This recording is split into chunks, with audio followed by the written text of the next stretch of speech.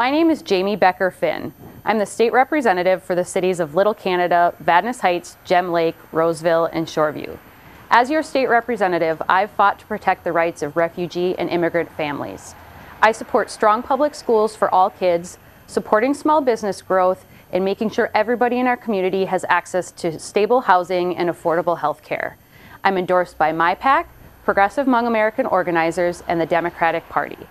Please vote Jamie Becker Finn on November 6th.